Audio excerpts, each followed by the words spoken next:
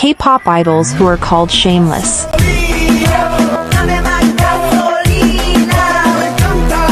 Jake of ENHYPEN. One Young of Ive. Lisa of Blackpink. Hwasa of Mamamoo. Hyunjin of Stray Kids. Bahi of Kep1er.